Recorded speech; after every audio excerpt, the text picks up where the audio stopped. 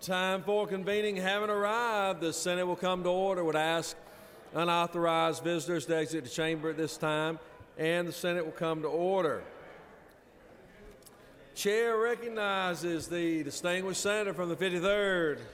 Good morning, Mr. President. Uh, us North Georgia legislators like to tell you the snow's coming down up in the mountains. My wife said we have several inches, but she's always had a problem with her measurements and uh, judging. So, uh, not sure how much we'll have, but it's pretty thick up there. No. and the journal's been read to found to be correct. Now, I'm interested in what he'll say tomorrow. Only the senator from the 53rd could read the journal and interpret it by in the way in which he just interpreted it. Is there objection to dispensing with the reading of the journal?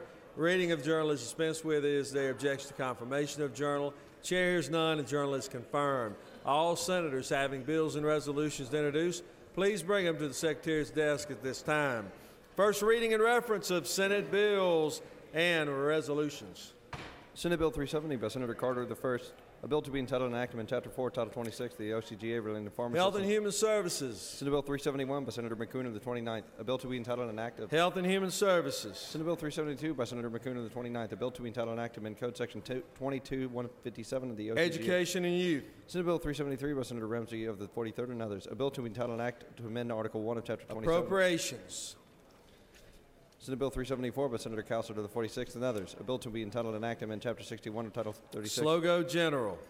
Senate Bill 375 by Senator Fort of the 39th and others. A bill to be entitled an act- Transportation. Senate Bill 376 by Senator Harper the 7th. A bill to be entitled an act to amend an act created the Fitzgerald and Ben Hill County Development Authority approved. by resolution. Slogo Local. Senate Resolution 893 by Senator Hufstetler of the 52nd. A resolution dedicated. Transportation Committee. Senate Resolution 896 by Senator Tolleson of the 20th and others. A resolution creating the Joint Study Committee on the Natural Legacy Program. Resources. Senate Resolution 897 by Senators Fort of the 39th and others. A resolution creating the Senate State Health Insurance Committee.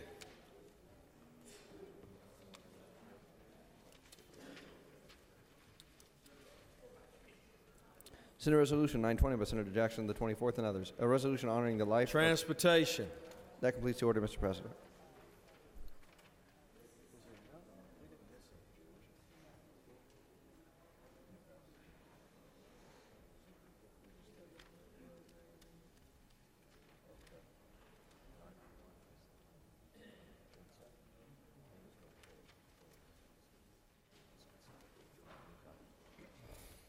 Um, Secretary will read House bills and resolutions.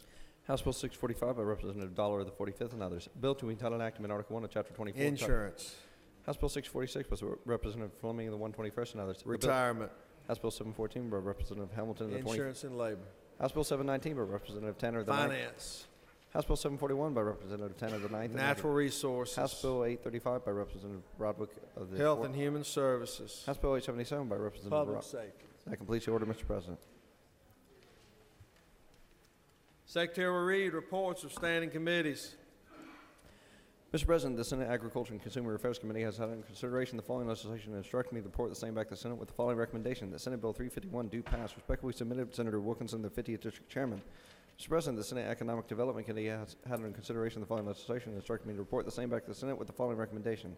The Senate Bill 353 do pass by substitute. The Senate Resolution 820 do pass. Respectfully submitted, Senator Gideon, the 47th District Chairman. Mr. President, the Senate Committee on Health and Human Services has had in consideration the following legislation and instructed me to report the same back to the Senate with the following recommendations.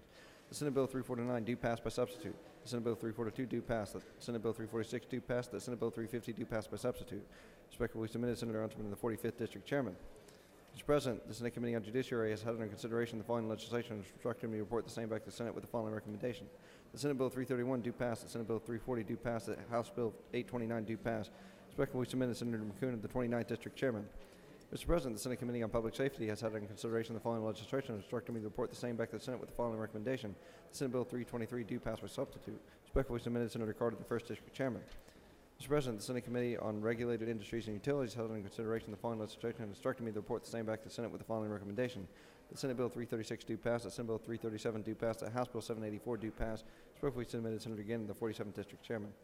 Mr. President, the Senate Committee on State Institutions and Property has had consider- consideration the following legislation and instructed me to report the same back to the Senate with the following recommendation. The Senate Resolution 788 do pass by substitute. The Senate Resolution 868 do pass. SR 847 do pass. Respectfully submitted, Senator Alvarez, the 56th District Chairman. Mr. President, the Senate State and Local Government Operation Committee has had under consideration the following legislation and has instructed me to report the same back to the Senate with the following recommendation. The House Bill 862 do pass. Respectfully submitted, Senator Ligon, the 3rd District Chairman. Mr. President, the Senate Transportation Committee has had on consideration the following legislation and instructed me to report the same back to the Senate with the following recommendation. The House Bill 774 do pass by substitute. Respectfully submitted, Senator Gooch, to the 51st District Chairman. That completes the order, Mr. President.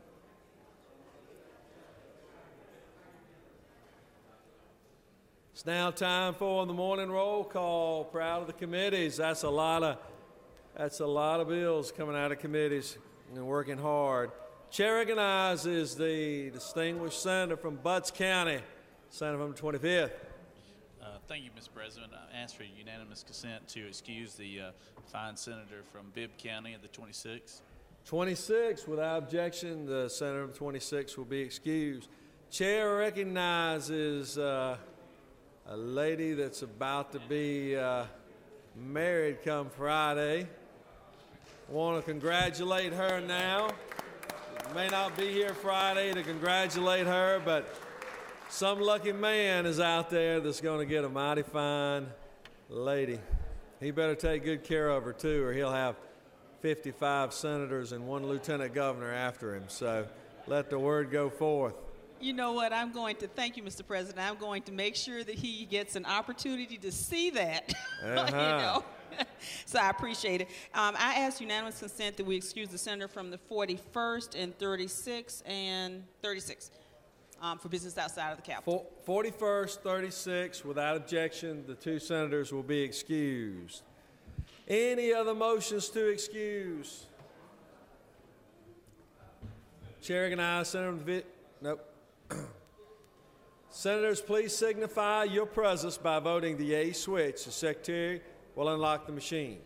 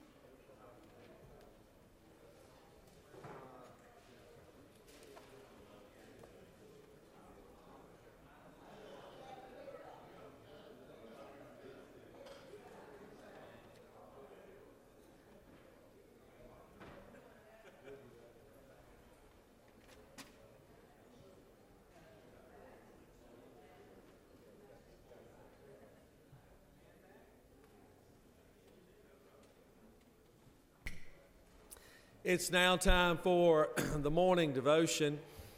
Um, would ask senators to take their seats and cease conversation as we prepare the chamber for our morning um, devotion. It is now my distinct honor to call upon the uh, distinguished senator from the 40th to lead us in our pledge and introduce our chaplain of the day. Senator? Thank you, Mr. President. Say the pledge, please. Pledge allegiance to the flag of the United States of America and to the republic for which it stands, one nation, under God, indivisible, with liberty and justice for all. Now the Georgia flag. Pledge allegiance to the Georgia flag and the principles for which it stands, wisdom, justice, and moderation. Thank you, Mr. President. The good news is I am not the chaplain of the day.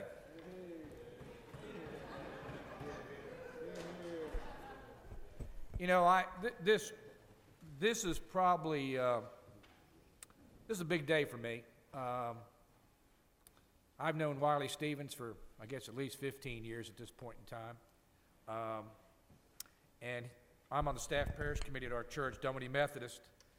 And last Monday night, he announced that he's going to be retiring the latter part of June. Wiley has been a minister for almost 50 years. He's been at, those of you who know the Methodist faith, he's actually been at Dunwoody Methodist for 24 years. And he's probably the ultimate bulldog. When he talks about the holy city, we don't know if it's Jerusalem or Athens from the pulpit. Um, when he was a younger man, I, I don't know how many people could pull this off. He asked his wife, he's been married almost 50 years, to be his wife. And the same day he dropped out of law school, God bless him, and decided to go to seminary. Did it all in one day. Um, I've known him. Uh, he's, he's been my pastor, as I said, for a number of years. Um, along with my dad, he married each of my children. Uh, it is truly a distinct honor for me. He will be missed as a senior minister at my church. He'll be missed with the North Georgia Conference. And what he has done in my community, you know, even though we're an urban setting, uh, he has made Dunwoody Methodist a community church. When something needed to be done, or a meeting needed to be held, or we need to do this, need to do that. We now, he's gone from about 2,000 members in the last 24 years to almost 5,000 members. So without further ado, I give you Wiley Stevens.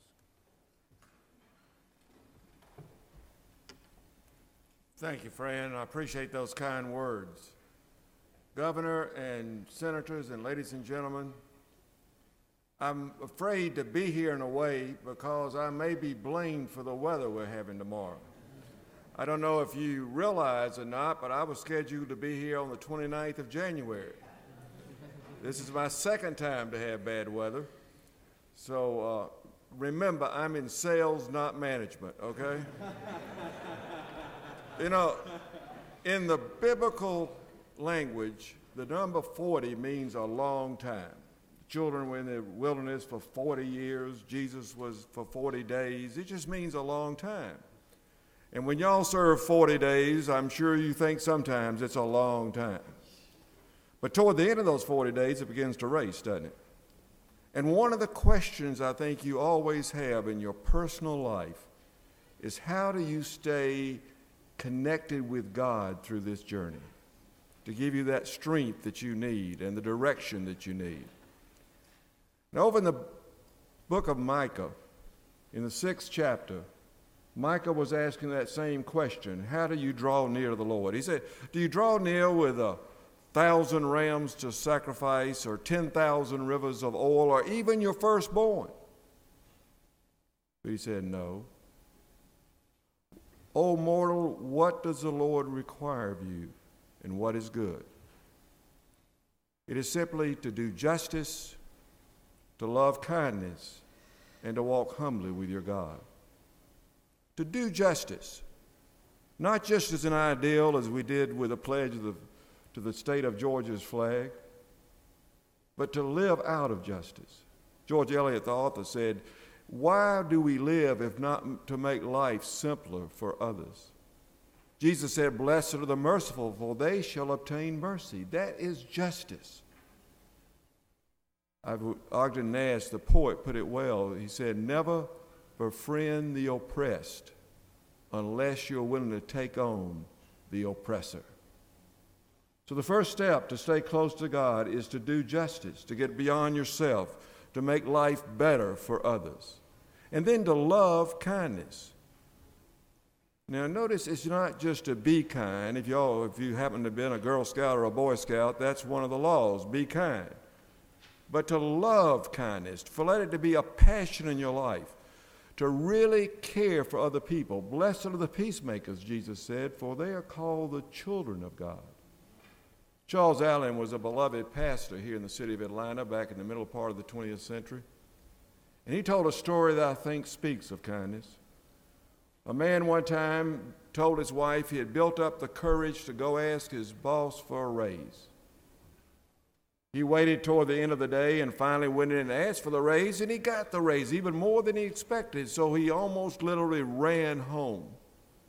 And when he got there, he opened the front door, and there on the dining room table was a china you only use at Christmas and Thanksgiving. And he could smell his favorite dish being cooked. His wife handed him a note when she began to say to him, I got the raise, honey. And the note said, You deserve that raise. I love you. And they sat down and celebrated during the evening. When he got up, he got up to help clear the table. He was such a good feeling and mood, and another note fell from the dish that he had been eating from. Taped underneath, it said, Honey, I'm sorry you didn't get that raise. You deserve that raise. I'm proud of you, and I've never loved you more. Folks, that's kindness. Not just when people meet our expectations or do what we want to do that we're nice in return. Even the tax collectors and sinners do that, Jesus said. But is to be kind to those who are different, who disagree, who are on the other side. And then to walk humbly with your God. I think these weather days remind us to be humble before God. There's things in life we don't control. I think we have to understand the meaning when it was said by Bob Woodruff, known as Mr. Bob in our city. There is no limit to what you can accomplish if you don't care who gets the credit. Let us give the glory to God for what God does to us. Bishop Bevel Jones, another beloved Methodist pastor in this city, as I spoke of Charles Allen as well, signer of the manifesto and other things that were leadership in this city, put it this way in a book called One Step Beyond Caution.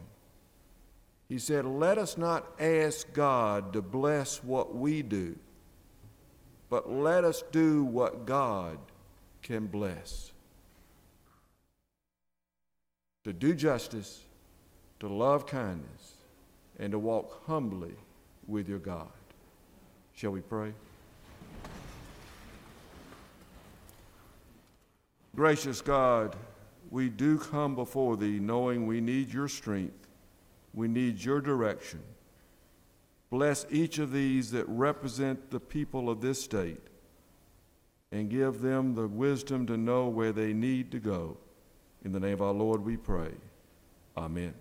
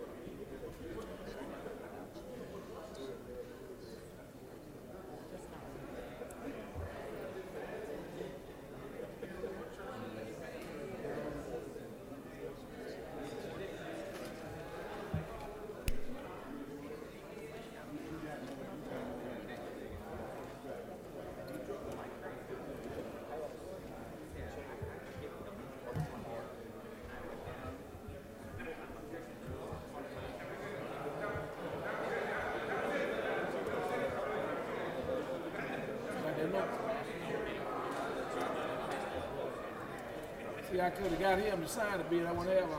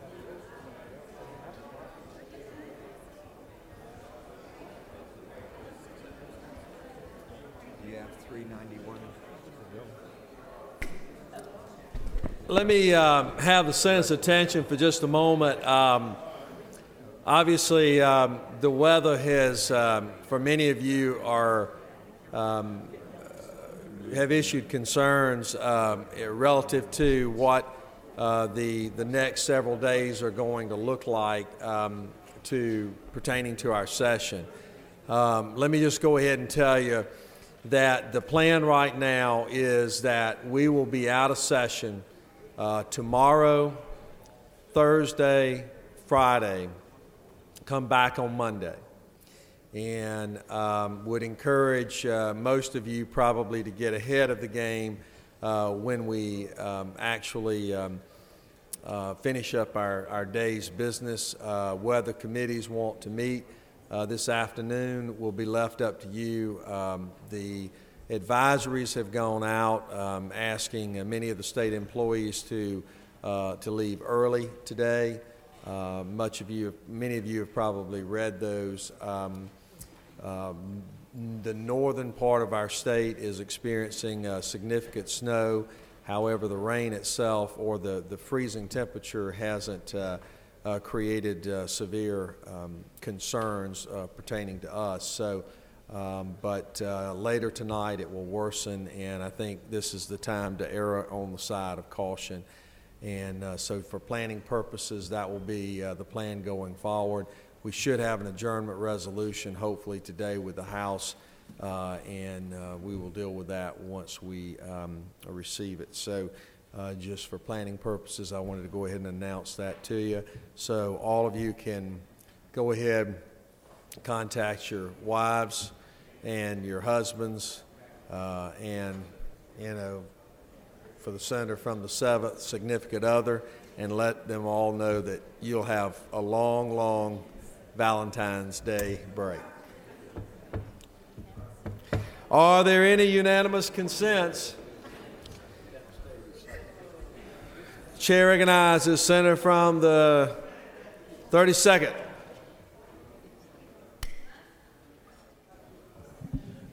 Mr. President, I ask for unanimous consent to withdraw Senate Resolution 901. Is there objection? Without objection, the resolution will be withdrawn. Needs a little more work. Any senator wishing to rise on a point of personal privilege? Chair recognizes Senator 29th.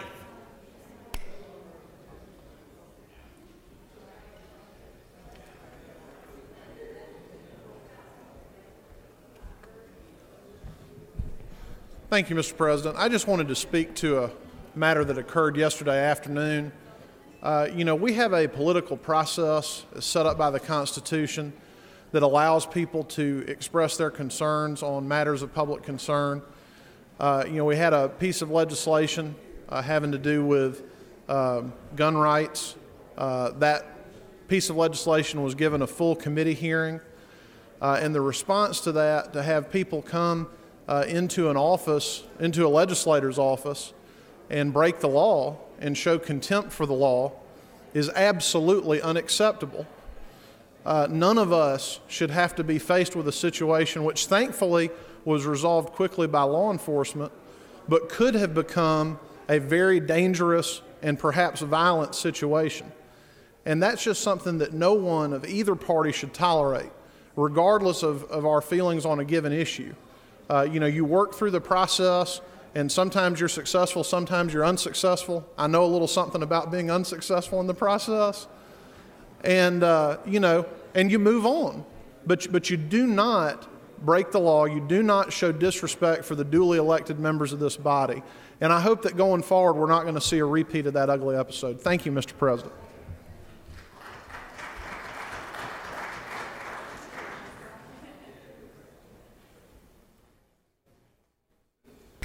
Chair recognizes the senator from the 44th on a per, point of personal privilege.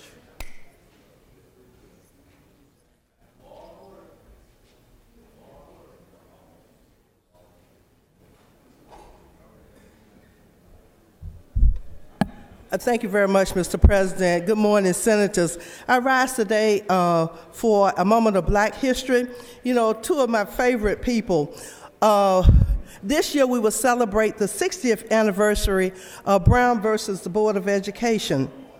And the chief judge, uh, uh, uh, who, the judge, the attorney who argued that case, and later became the chief, uh, the judge of the Supreme Court, Thurgood Marshall, uh, argued that case. And uh, I want to talk briefly about him. And then also, we celebrate the 70th anniversary of the founding of the United Negro College Fund and Dr. Frederick uh, Douglass Patterson. Uh, Thurgood Marshall was born in 1908 and was the grandson of a slave and then became a chief judge for the Supreme Court. Uh, his father instilled in him as a youth an appreciation for the United States Constitution and the rule of law. He graduated from Lincoln University, and then he applied in 1930 to the University of, uh, of Maryland Law School, but he was denied admission because he was black. He then applied and graduated from Howard University Law School. Now, uh, Justice uh, Marshall argued before the Supreme Court, Brown versus the Board of Education, the landmark decision that uh, um, declared state laws establishing separate, separate public schools for black and white children unconstitutional. And uh, Judge Marshall, uh, in my opinion, uh, broke down this Plessy versus Board of Education, uh, uh, which upheld the law separate but equal.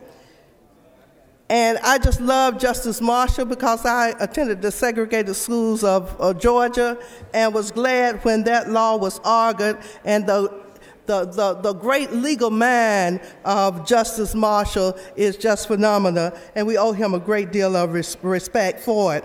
Then, now, the 70th anniversary of the United Negro College Fund. I graduated from a historically black college and a UNCF school, and we have over 60,000 students each year who attend those colleges and universities, and now we have 37.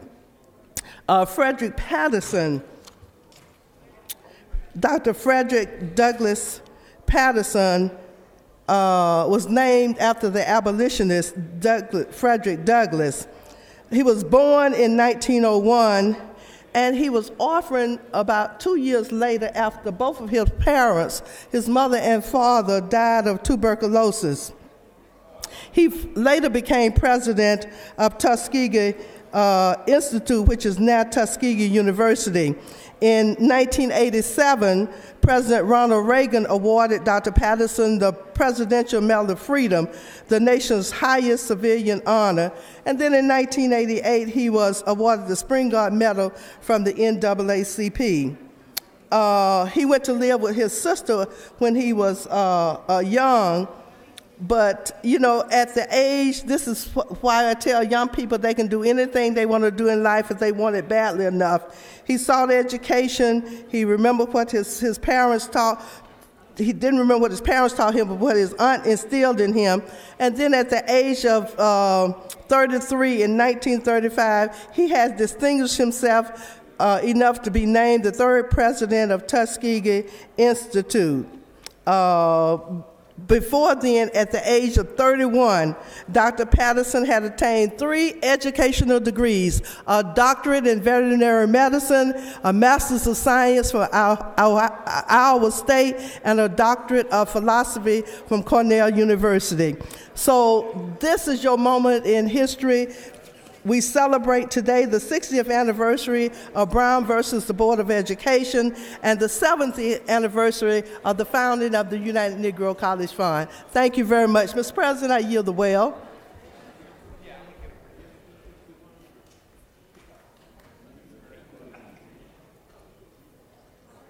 Chair recognizes Senator from the 39th. On a point of personal privilege, please give the very distinguished senator from the 39th gave us a wonderful speech yesterday on helping our bus drivers. I can only wait to hear what today's about. Good morning, Mr. President, members of the Senate. I rise on a point of personal privilege. Uh, I wanted to thank the senator from the 44th senator from the 44th, for talking about Thurgood Marshall and how he helped to transform this country. Uh, and evidence of that transformation is in the dark faces, the African Americans that sit in this chamber. Because without Thurgood Marshall, without Thurgood Marshall, I know the chances of me being able to press that red or green button would be greatly decreased. And that's why I would want to say that the reason I'm here isn't because people, some people want me to be here. I'm here because some people sacrificed and thought it not robbery to put their bodies on the line.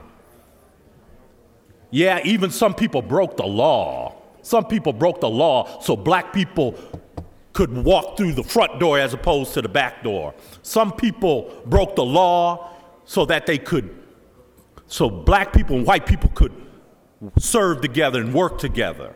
So to come to this microphone and say that breaking the law is problematic. I have a problem with that. Because some people broke the law so my grandfather could vote. Some people broke the law so my mother could drink out of a water fountain and not have to go to the colored water fountain. So to come here and to this microphone and tell somebody that breaking the law is a bad thing, the fact of the matter is some people don't understand what the civil rights movement was about. Some people don't understand what nonviolent civil disobedience was about senator from the 23rd's office yesterday, whether he knows it or not, was the most safe place in Atlanta. Because the people that went in his office, I know some of them, and I know that they're learned in the way to do nonviolent civil disobedience. I wasn't there, but I saw some of the video was posted. No one's safety was ever at risk. Nobody's safety was ever at jeopardy.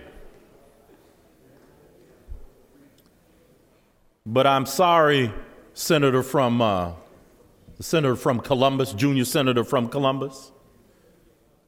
People, as Dr. King said, have a right to do what? They have a right to protest for right. And when you disrespect people in a committee hearing, like happened last week, people will not stand for it. people who are arrested following the precepts of nonviolent civil disobedience have to be prepared to face whatever charges are brought against them and go to jail and stay in jail and be sentenced to jail if necessary. That's what nonviolent civil disobedience is about, not shrinking from your respons- responsibilities, but facing it. Nonviolent civil disobedience is old as Socrates, old as Thoreau. And it won't stop because people who fight against voting rights get in this well and tell us we shouldn't protest for freedom, justice, and equality. That won't happen. Thank you, Mr. President.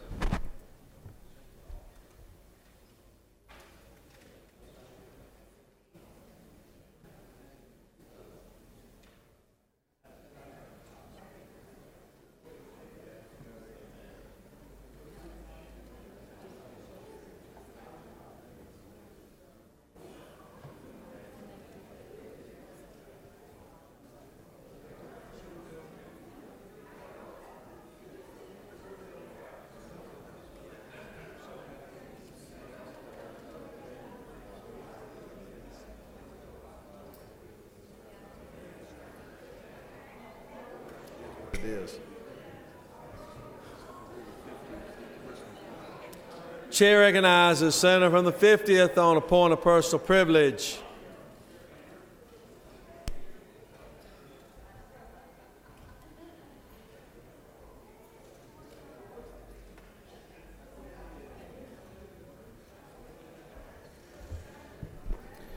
Mr. President, ladies and gentlemen of the Senate, I just wanted to mention that the uh, today was scheduled to be Farm Bureau Day at State Capitol. That has been canceled, and the luncheon that was planned at the depot has been canceled also, and I will update you if those plans are rescheduled.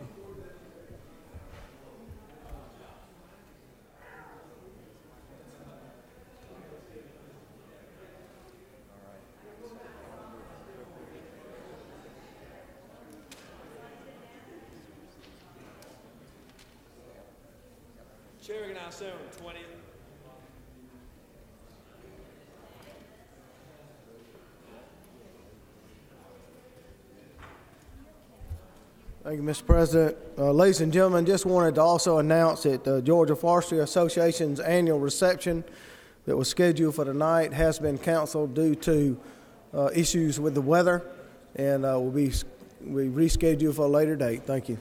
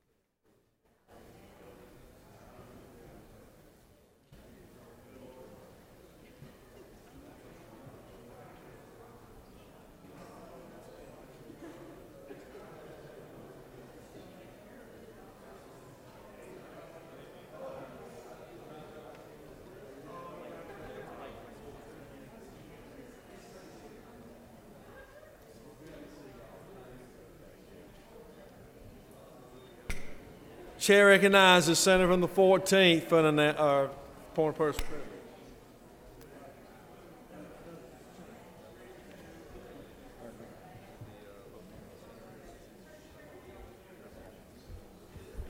Thank you, Mr. President. Our senator uh, um, from the 39th said that yesterday it was one of the safest places to be. I happen to be in that hall, and I respectfully disagree, sir. Intimidation is not a safe place. If you ask the ladies that were in the hall, that were trapped in that room, they would disagree as well. There's an orderly process when you want to protest, and I can tell you, in a legislative hall where you're blocking the business, that's not the place for that to take place. Thank you, Mr. President.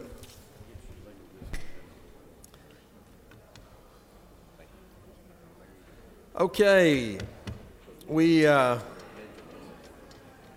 have a consent calendar of privilege resolutions.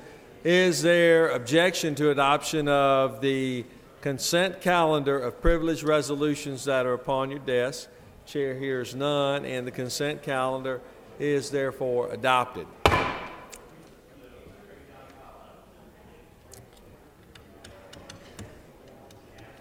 Or are we?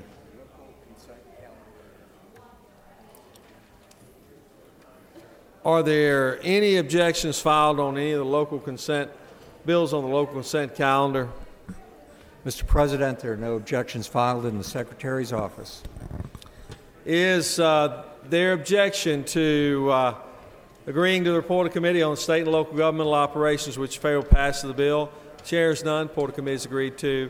Uh, the question is on the passage of the bills on the local consent calendar. All those in favor will vote aye. Those opposed, no. Secretary will unlock the machine. We're voting on the local consent calendar.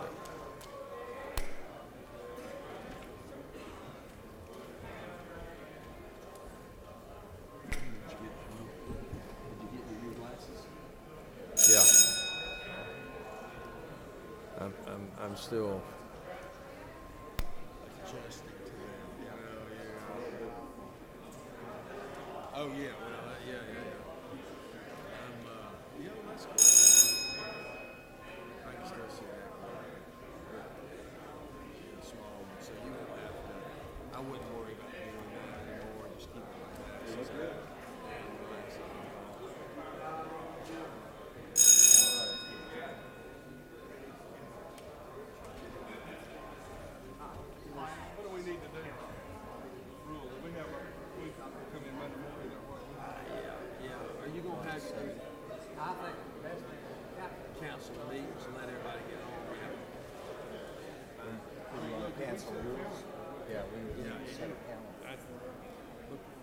They're doing, the governor sent out a thing asking folks, to, those that are outside of I twenty, go ahead and leave. Outside two eighty-five. Or outside of two eighty-five, leave now.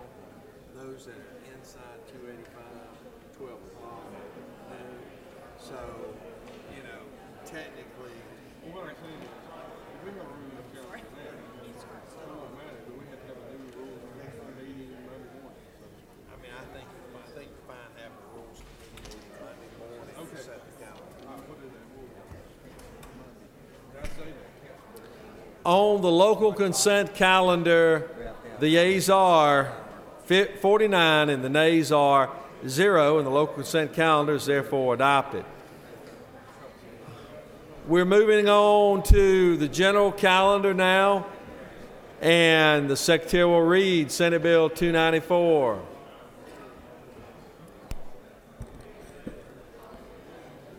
Senate Bill 294 by Senator Murphy, the 27th, and others. A bill to be titled and act amend Chapter 14 of Title 43 of the OCGA relating to electrical contractors, plumbers, condition air contractors, low voltage contractors, and utility contractors so to provide that a person licensed as an electrical contractor Class 2 may perform low voltage contracting without obtaining a statewide low voltage contractor Class LVA, LVG, LVU, or LVT license, change certain provisions related to powers and duties of the Division of Electrical Contractors and for other purposes. The Senate Committee on Regulated Industries and Utilities recommends this bill do pass.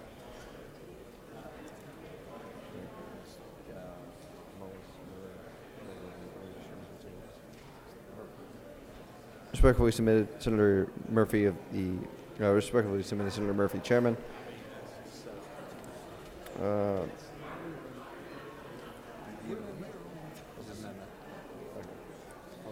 Senator Crane and others offered the following amendment. Amend SB 294 by inserting I or after class on line 3 by inserting certain types of after perform on line 4 by inserting and low voltage contracting after contracting on line 38 by striking line 85 and inserting in lieu thereof the following.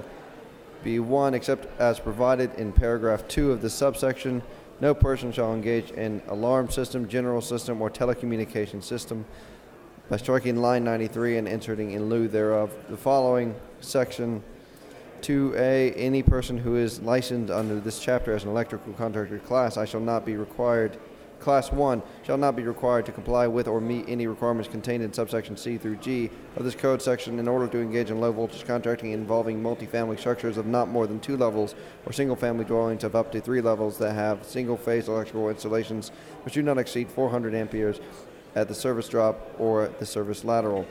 B. Any person who is licensed under this chapter as an electrical contractor class. That's, that completes the order, Mr. President. Chair, Okay. uh, all, have all the amendments been read? Okay. Chair recognizes Senator from the 27th to present the bill.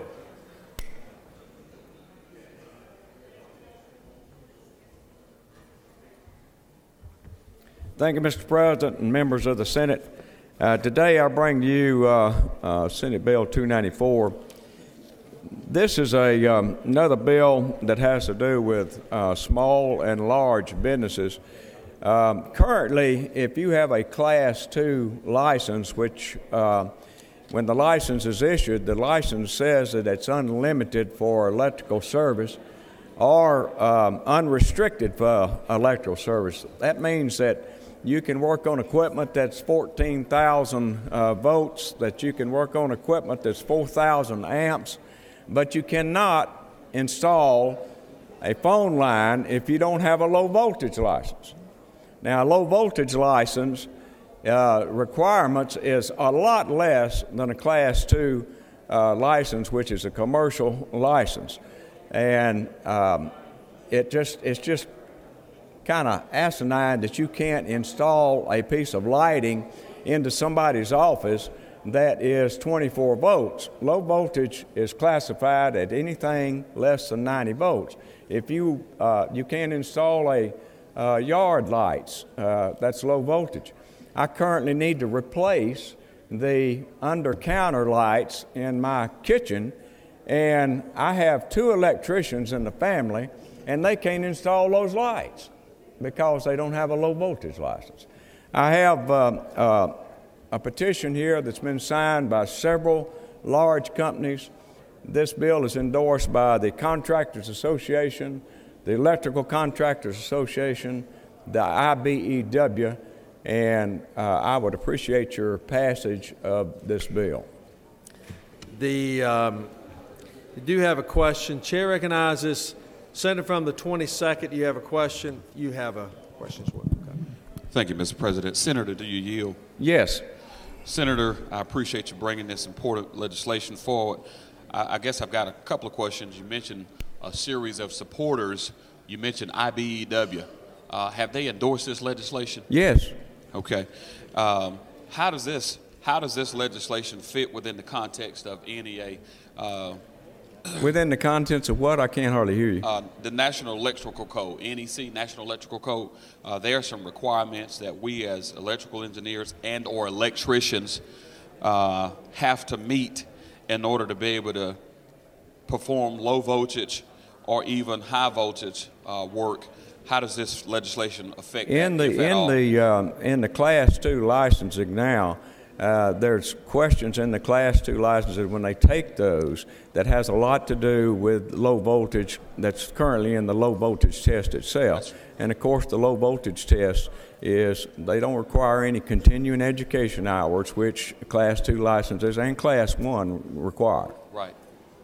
Okay. Are we are we doing away with the requirements for that continuing education? i'm sorry what Are we doing away with that requirement for continuing ed with this legislation? We're doing away with the requirement that a Class 2 license holder uh, can uh, not have to take the low voltage test. Of course, there's plenty Class 2 licenses holders right now, especially larger companies that do have low voltage license already.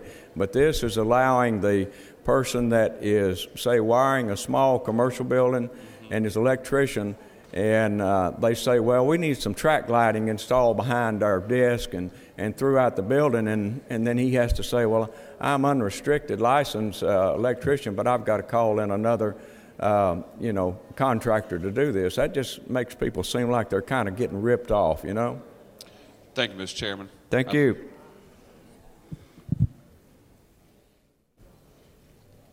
Mr. President, if there's no other questions, I will. There's a que, yeah. Chair recognizes Senator from the 15th.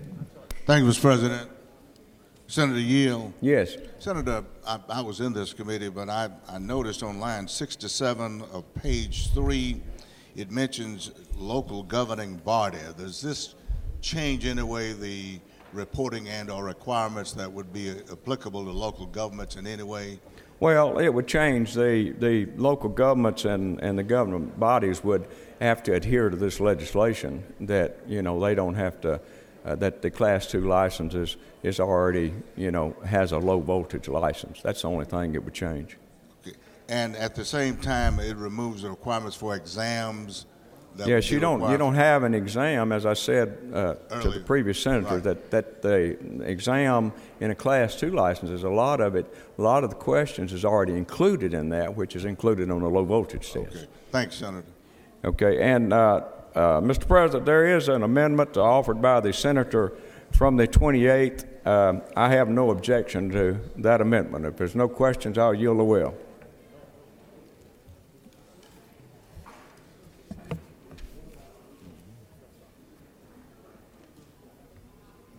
No further questions, Senator. Thank you. Chair recognizes Senator 28th to speak to his amendment.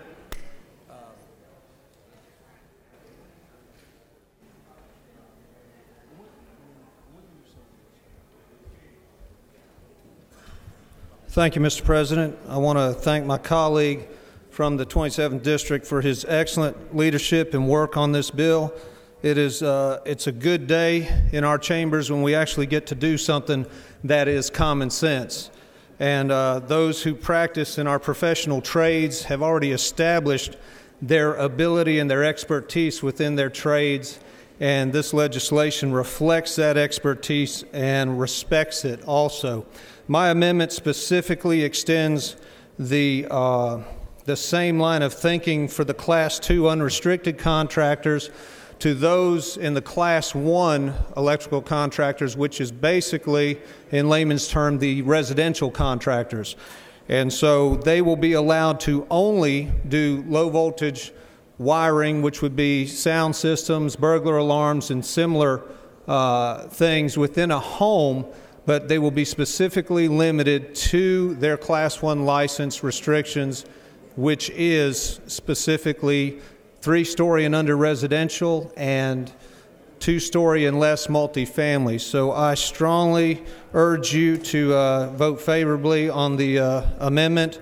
Mr. President, I, uh, if there are no questions, I yield the well. No further questions, Senator. Thank you, Mr. President. Uh, we have another amendment, Amendment 1A. Has it been re- uh, read? Uh, if Secretary will read Amendment 1A. Amendment 1A by Senator, 1A by Senator McKoon of the 29th and others. My apologies. There is no 1A, okay, on this bill. The question is on amendment authored by the senator from the 28th. Is there objection? Without objection, amendment uh, from the 28th, senator, senator from the 28th is adopted. Does any other senator wish to speak for or against the bill? Is there objection agreeing to Porter Committee which failed to pass the bill? Chair is none. Porter Committee is agreed to. Shall the main question be now put? Are there any objections? The chair is none and the main question is ordered. Shall this bill now pass? Questions on the pass of the bill? All those in favor of the bill will vote aye. Those opposed, no. Secretary will unlock the machine.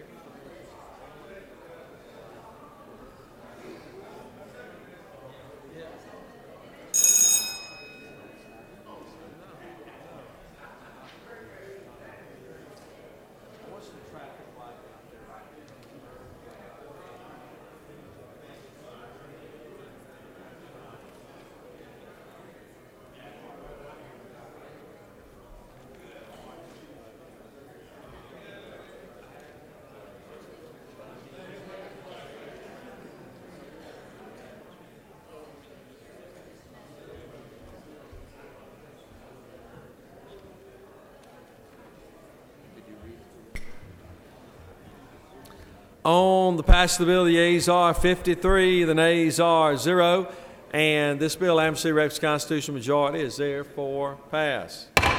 Secretary will read Senate Bill 301. Senate Bill 301 by Representative by Senator Millar of the 40th District to, and others. A bill to be entitled enactment Code Section 22261 of the OCGA relating to minimum facility requirements for public school facilities so as to disallow prohibitions on wood construction in public schools if in compliance with state minimum standard codes and for other purposes. Senate Committee on Education and Youth recommends this bill do pass by respectfully submitted Senator Tippins, Chairman. That completes the order, Mr. President.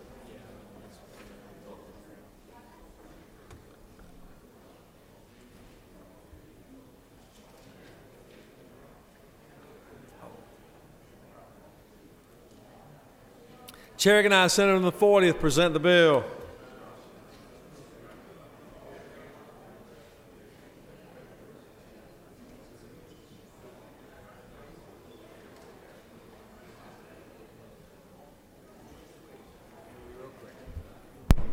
Thank you, Mr. President. Senate Bill 301 allows uh, wood construction in our schools. It's otherwise in compliance with the state minimum standard codes. And the, sto- the Georgia State Minimum Standard Building Code does not prohibit wood construction and has all the necessary requirements for wood construction. Uh, this bill is supported by the Georgia Forestry Association, Georgia Paper and Forest Products, the Georgia Farm Bureau, and Construction Suppliers Association. In fact, it sort of dovetails with Governor Deal's executive order to expand Georgia's ability to use our products. They uh, represent uh, Two thirds of our state is covered by forests, and this is a big industry, primarily by individuals in the timber industry. So I ask for your favorable consideration, and will yield the well if I have no questions.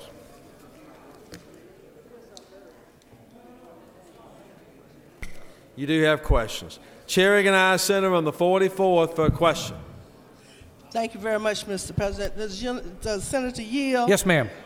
Senator, I, I just have a problem with this. Why, why would we want to build a wood frame, uh, schools with wood frame? I mean, uh, all commercials like steel construction or uh, uh, these schools are brick, um, wood frame. Uh, you know, like in my community with all this cold weather, we've had uh, these wood frame houses. We had some two to burn on one street and the people just got out in time to save their lives. The fire department was there in minutes. I just don't understand why, why, why, why would we want to do this? Well, a couple of reasons. Number one, this is optional. It is not mandatory. It just is an option. It's being done in a lot of other states, Arkansas, South Carolina. It's a, from a costing standpoint, it's probably at least 20% cheaper. It's less carbon fin- footprint for you environmentalists that are interested in that. Uh, and at the end of the day, the, the, the, what we're talking about, these are, these are subject to code, okay? So these buildings are sprinklered and everything else. These are not frame tarp paper shacks, okay? The, the construction that's being done in these other states. Oh, does the senator for the year? Yes, I ma'am. see down here on line 18 it says state minimum standard codes. Yes, ma'am. Uh, it seems as if we would want our children safe. I, quieten down the chamber. I, I can't hear, and I know the senator and the well can't hear. Okay. Continue.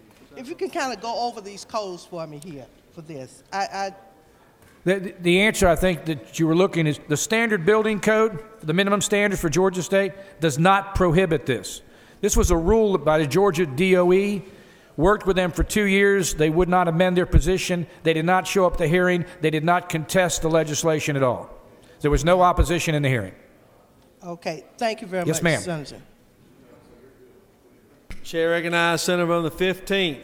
15th for a Thank question. you, Mr. President. Senator Yield. Yes, sir. Senator, I just have one question, and as it relates to the the fire safety at schools. Yes, sir. It had to be a reason why it was omitted in the first place. Yes, and, and and it left out probably, and I would suspect because of efforts to to be uh, fire conscious as it relates to a public for children. Yes. At one day, at one time, sir, you're absolutely right, because we didn't have sprinklered buildings that we have today, and that was probably the major reason for it. This was covered in, in our committee here, and Steve McWilliams talked about that particular fact. But today, as I said, it is not prohib- prohibited in our code. They're doing it in a bunch of states, and again, it's just an option. And when you got architects and you got school boards and you've got contractors and such, if they all agree to it, all it says is this is an option for people. It is not mandatory. It doesn't say you have to do this. It just makes it permissive. Only for frames, if I may follow up, Senator, only for frames or in all parts of the building? Yes, that's correct. Okay. All right. Thank you, Mr. President. Yes, sir. Chair recognizes Senator from the 42nd for a question. 42nd. Uh, Senator Yield. Yes, sir. Um, is is this going to? Um, well, I, I guess my, my concern is that it looks like what we're doing is we are overriding the, the, the state board's requirements for, I I would assume that they're safety requirements. Is that right? You know, we, we've, we've gone back and forth for the last two years with the state board, uh, and they didn't show up at the hearing. They said they were not going to protest this. Uh, as you know, it's probably at this point it's very difficult to hold, get a hold of somebody at the state board to talk to, and uh, so I, I can tell you it's being done in other states around us: South Carolina, Arkansas, California, even. And again, this is an option. It's up to the architects, it's up to the contractors, it's up to the school systems. Between the cost element, you know, we're doing we're doing a lot more uh, forestry products in our state buildings, for example, in compliance with Governor Deal's executive order. And that's the best I can tell you, Senator. Uh, will you yield for another question? Sure. Will, i- i- am I correct that we use our schools um, as shelters in emergency situations, and, and will this will this impact that? I mean, I know we, you know, look, look, I'm all for forestry. I, you know, I'm a forester myself. But my question is, do we, do we, uh, do we, uh, but do we, um, do we, uh, do, do we need do we need to do we need uh, will these meet the standards that we need from from a tornado standpoint from an emergency standpoint et cetera Understand the Georgia minimum building code standards, all the necessary requirements for wood school construction. They are in the code already. They are in the code already. all right I'm sorry. one final question Sure. is, it, is this going to is this going to save money for the school systems I would say to you the cost element, it's been costed out a couple of uh, Uh, examples I looked at. It was about 20% cheaper. Now, I will say this, though the fire insurance will be more on a frame building versus non combustible, but it's been more than offset by the construction cost, yes. It was, at the end of the day, it would save money, absolutely. Chair recognizes Senator from the 39th for a question. 39th. Will Senator yield? Yes, sir. On that last point that you made, Yes, sir. the insurance costs will be more Yes, sir. because it, it's more likely to burn Well, I would tell you after being in the and, insurance and industry more for four- likely to injure children and and teachers and others. No, I would just say I've been in the insurance industry for 40 years, and frame construction always is more than masonry non-combustible. That's how fire rates are promulgated. And will Senator further yield? Yes, sir. And that's because they're more likely to burn and injure and kill. And traditionally, that would be true, but again, we're also talking about we are not in violation of our minimum standard building codes here in Georgia. Make that perfectly clear. This is an option. That's all it is. Will Senator further yield? Yes, sir. You mentioned the governor's executive order. Yes. Can you uh, can you give us a thumbnail summary of what that executive order did? It was about green building standards. It was the fact that you know we probably uh, are that the Georgia forestry industry puts 24 billion dollars into our economy. It's 108,000 dollar jobs, and uh, if we can, if we can use our own homegrown forest products that make sense in certain situations, let's use them. Will Senator further yield? Yes, sir. One more. Yes, sir. So therefore, what you're saying is that this bill is what we call an industry bill designed to profit, to benefit. And we're, we're not against profit and Senator, I don't think that's what I'm saying. I What- didn't finish, but I didn't finish my question. Okay, Let me finish excuse my me. question, and then you can answer. Is this an industry bill? Would this be considered an indus- industry bill to benefit uh, one industry over others? No. Senator, what I think it does is give people more choices, like it has been done in other states. It's not prohibited by law right now as we speak. So it just gives people choices. If you're against choices, I guess that's an industry bill. I'm against. Yeah. All right. Thank you, sir. Chair recognizes uh, Senator from the 32nd for a question. Senator, isn't it true that the only wood that you're talking about is wood retardant, uh, fire retardant, fire retardant wood, and that's what you're talking about in this bill that they could use according to these guidelines? Fire That is correct. Wood?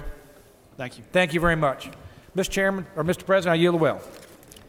The senator has yielded, even though there were numerous questions, but uh, he has that right to do so, and he has exercised that right. Does any other senator wish to speak for or against the bill? Is there objection to agree the Porter Committee which failed to pass the bill? The chair is none. The Porter Committee has agreed to. Shall the main question be now put? Are there any objections? The chair is none. Main question is ordered. Shall this bill now pass? Questions on the pass of the bill. All those in favor of the bill will vote aye. Those opposed, no. And Secretary will unlock the machine.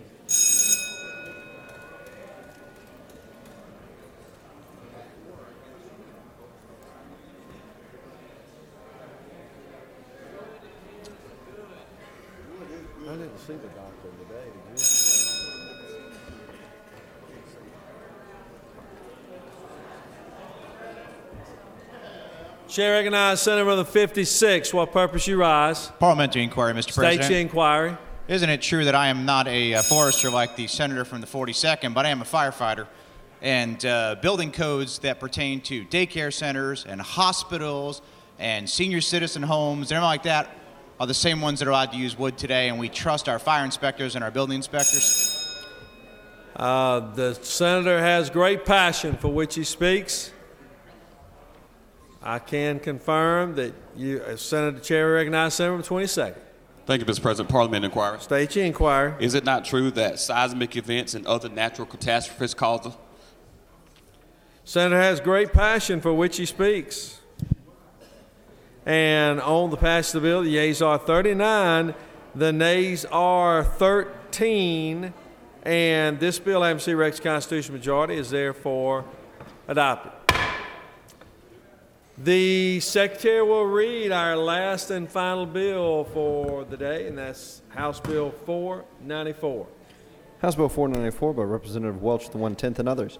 A bill to be entitled and amend Chapter 9 and Title 32 of the OCGA relating to mass transportation is hosted bride for the installation of safety markers on utility lines to provide for adequate visual warning in the use of private airstrips to provide for definitions and, other, and for other purposes. The Committee on the Senate on Transportation recommends this do, bill do pass by substitute. Respectfully submitted, Senator Gooch, Chairman. Is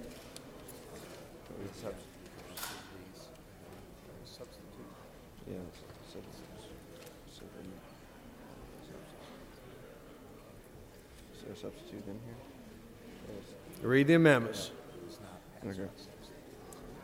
Amendment 1A by Senator McKoon of the 29th and others. Amend Amendment 1. I guess I should read Amendment 1 first. Amendment, amend Amendment 1 by striking liability, civil or criminal on line 23 and inserting in the same place civil liability. Amendment 1 by Harper the 7th and others. Amend the substitute to HB 494 by deleting line 4 and inserting in lieu thereof the following immunity to provide for related matter to provide for de- effective dates to repeal conflicting laws and for other purposes. But deleting lines 26 and 27 and inserting in lieu thereof the following statutory overnight delivery return receipt requested to owner of an appurtenant utility line requesting the installation of safety markers. Such notice shall be accompanied by a check or money order in the amount of $100 made payable to the owner of the appurtenant utility line for the work to be performed by the owner of the appurtenant utility line under paragraphs 1 and 2 of the subsection with 90 days of the owner of and deleting lines 52 and lines and 53 and inserting in lieu thereof the following construed to prohibit the owner of the private airstrip from sending written notice pursuant to subsection B of the code section to the same owner of an appurtenant utility line in any subsection calendar year so long as the owner of the private airstrip does not exceed one written notice to the same owner of the appurtenant utility line in any calendar year by deleting lines 59 and 60 and inserting in lieu thereof. The following extensions of time not to exceed 90 days total upon showing that the need for an extension is the result of force majeure, grid reliability, work scheduling conflicts, or lack of market supply of the requisite safety markers and other necessary equipment. But deleting line 92 and inserting in lieu thereof the promulgation of rules and regulations to establish installation fee schedules based on utility best practices. H. An owner of a private airship airstrip shall have immunity from liability, civil or criminal, that would otherwise be incurred or imposed as a result of taking or failing to take any action pursuant to this code section. This code section should not be construed as imposing any additional duty on an owner of a private airstrip which is not already exercised imposed by law, otherwise imposed by law. By replacing 2013 with 2014 at the end of line 96. Uh, Amendment 2 by Senator Heath of the 31st and others. Amend HB 494 by inserting after department on line 6 the following to amend code section 51321 of the OCGA relating to definitions used in limiting liability of certain property owners so as to rise the definition of recreational purposes to include aviation activities. By redesignating sections 2 and 3 as Section 3 and 4 respectively and by inserting between lines 92 and 93 the following. Section 2, Code Section 51321 of the OCGA relating to definitions used in limiting liability of certain property owners is amending is amended by revising paragraph 4 as follows. 4. Recreational purpose includes, but is not limited to, any of the following or any combination thereof hunting, fishing, swimming, boating, camping, picnicking, hiking, pleasure driving, aviation activities, nature study, water skiing, winter sports, and viewing or enjoying historical, archaeological, scenic, or scientific sites. That completes the order, Mr. President. Chair recognizes the senator from the 7th to present the bill. Please give Senator your attention.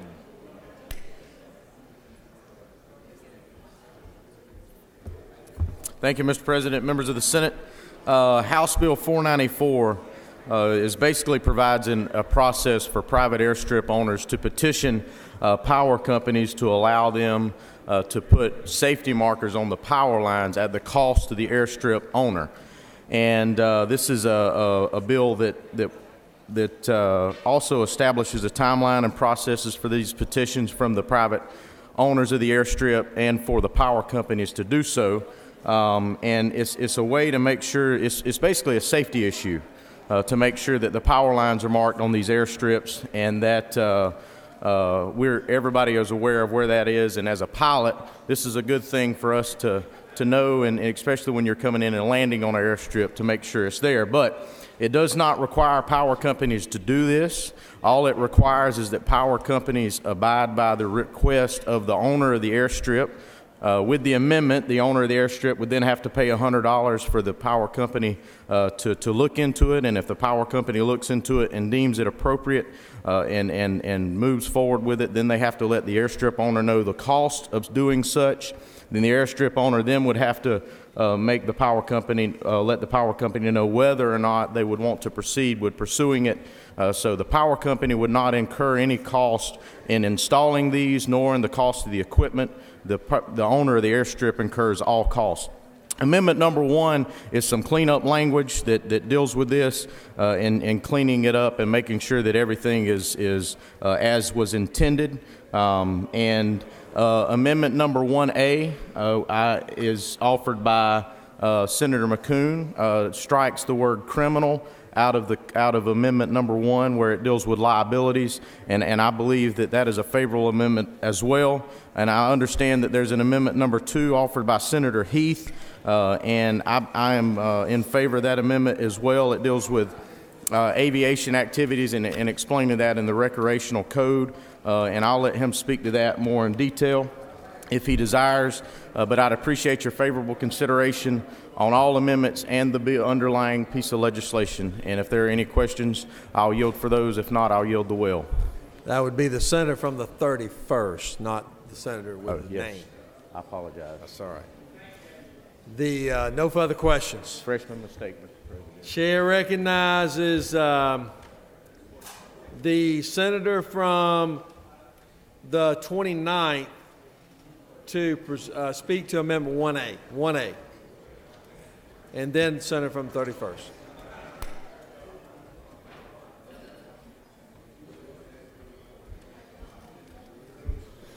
Thank you, Mr. President. All Amendment 1A does is uh, it leaves in place the civil liability protections that uh, the senator from the 7th is seeking in his original amendment, but it eliminates criminal liability. Frankly, I can't think of a circumstance where there would be criminal liability. It just raises a question that really doesn't need to be asked, uh, and it has the support of the author. If there are any questions, I'll be glad to uh, yield to those. If not, I'll yield the well.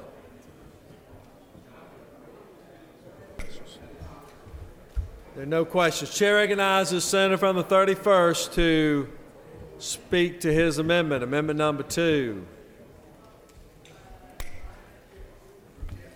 Thank you, Mr. President, members of the Senate. This is the language from Senate Bill 127, passed out of the Judiciary Committee last year. Just uh, provides some uh, immunity from liability to the owners of a private airstrip or even a, a piece of property might let someone like uh, the senator from the 7th that uh, wants to land their helicopter there that you wouldn't be responsible for their actions. Be glad to take any questions. No questions, Senator. Um, all right, the, this is the posture we're in, uh, voting on Amendment 1A, authored by the senator from the 29th. And then, um, is there objection? Is there objection to 1A? Without objection, Amendment 1A is adopted. Now, is there objection to Amendment 1, authored by the senator from the 7th as amended? Without objection, Amendment 1 as amended is adopted. Now, the question is on Amendment number 2, authored by the senator from the 31st. Is there objection? There is objection by the senator from the 42nd and the senator from the 29th. All of those in favor of Amendment 2, authored by the senator from the 31st, will rise, stand, and be counted. If you are in favor of Amendment 2, senator from the 42nd, what purpose do you?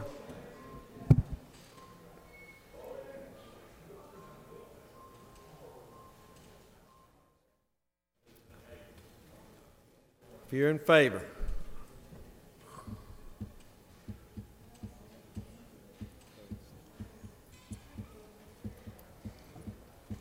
Reverse. Reverse. If you're opposed.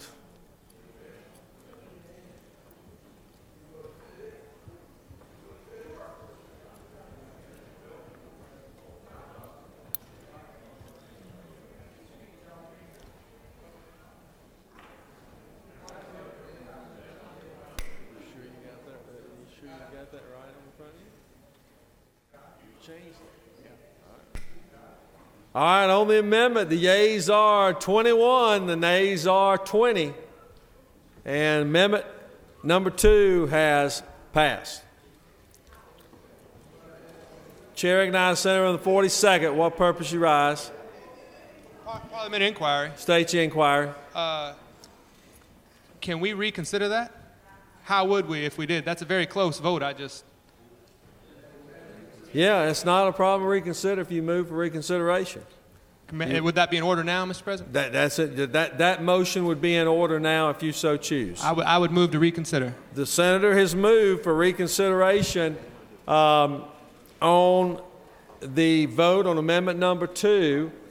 Senator from the 31st, what purpose you rise? I don't suppose there'd be time to s- speak to this, or we're just going to vote to reconsider, yes or no? And what Well, happens we would if vote do for recon- reconsideration first, and after, and if, if obviously the vote for reconsideration fails, then We move on. where we move on. Um, I mean, I'm sorry. Yeah. Do you? I mean, do you want to debate the motion for reconsideration? No, sir. Okay. All right. So the, the po- right now, the Senate from the 42nd has moved that we reconsider, the Senate reconsider its actions on amendment number two. All those in favor of reconsideration will vote aye. Those opposed, no. Secretary unlock the machine. If you're in favor of reconsidering the actions of the Senate, will vote in favor. If you're opposed, you will vote no.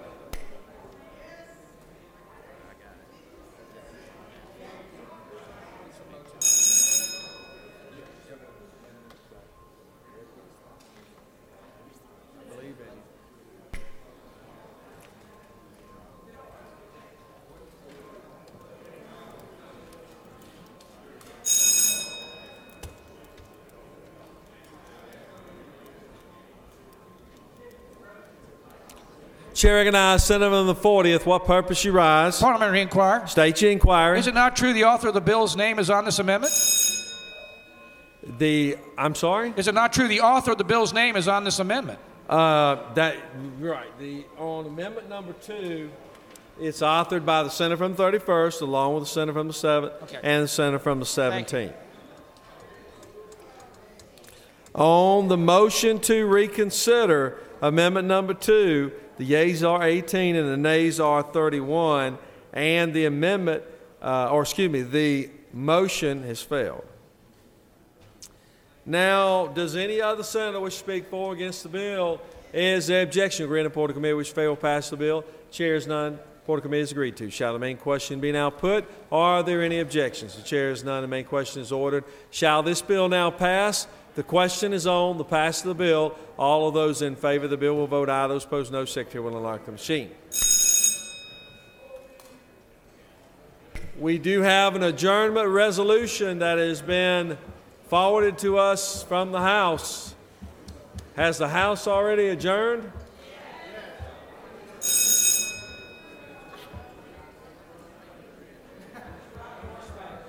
Senate's still at work.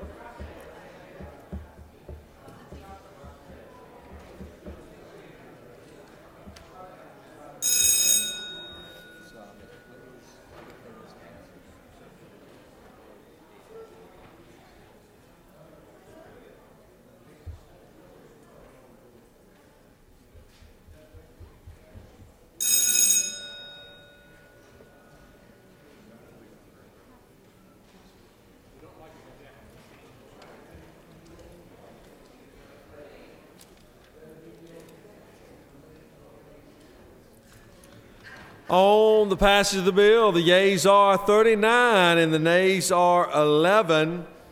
And this bill, having the constitutional majority, is therefore adopted. We have an adjournment resolution that is before you, and it is uh, Senate Resolution uh, 1333.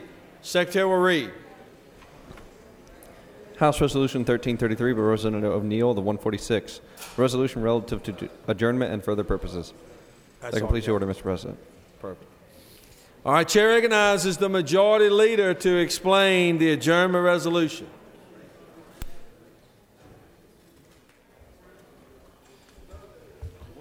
Thank you, Mr. President. Ladies and gentlemen of the Senate, you have before you the pink sheet of paper. Some of you may be packing it away, I see, uh, which is House Resolution 1333, which will take us up through day 40, sine die, which, uh, according to this, will be on March the 20th. Um, I'm happy to answer any questions. It's fairly self-explanatory. You will see in there that we have, uh, we will be out uh, for uh, two days, the 27th and the 28th of February, which is a Thursday and Friday. And we will be looking at crossover day being on March the 3rd, which is a Monday. We also will plan to be out on the 14th of March and the 17th of March, which is St. Patrick's Day. Center from the Second is happy. And um, the plan is to, uh, to work hard, very efficiently, very effectively next week. Going back in on Monday and being in every day next week. We'll have our, our budget uh, folks, appropriations subcommittee chairs working on, uh, on their specific issues. Hopefully, you all will be engaged in that from the beginning so we can get this budget taken care of. Um, but again, I appreciate your favorable, cons- favorable support on H.R. 1333. And, Mr. President, I'm happy to answer any questions.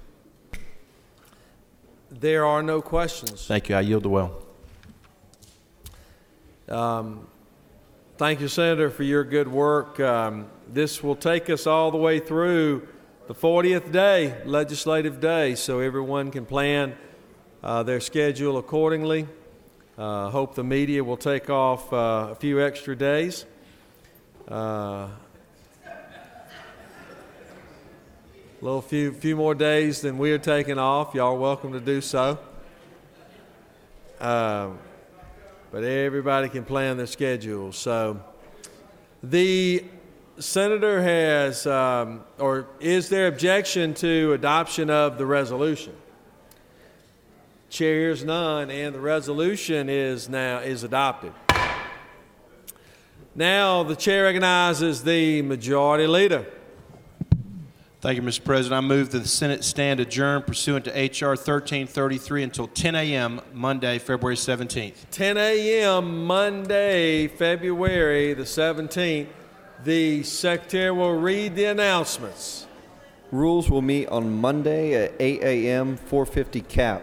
All other committees have been canceled. That completes the All committees have been canceled. Rules will meet 8 a.m. on Monday. For those committee members, please be aware that uh, 8 a.m. Be here early. Wish everyone a very, very safe um, travels home. Use discretion, and we'll look forward to seeing you back here on Monday. Chair, well, that's probably a good idea, Senator. The majority leader has moved that we stand adjourned until Monday, February the 17th at 10 a.m. All those in favor will say aye. All those opposed, no. Ah, your vote does not uh, meet your actions of earlier today, but the eyes clearly have it. We stand adjourned.